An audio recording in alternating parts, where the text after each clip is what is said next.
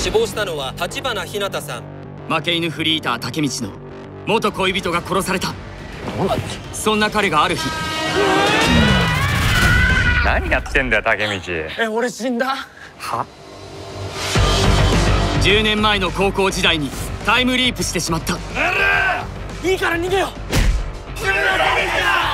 てめえは一生俺の奴隷だ。分かってるよ俺の人生クソだってだったら頑張って。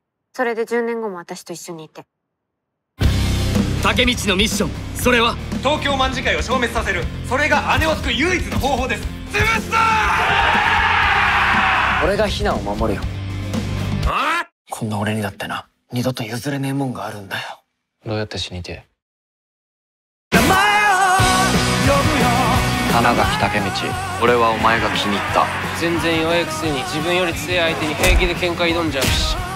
俺はずっとあの頃見てバカやって笑ってたかったよ。私の好きな竹道くんだから。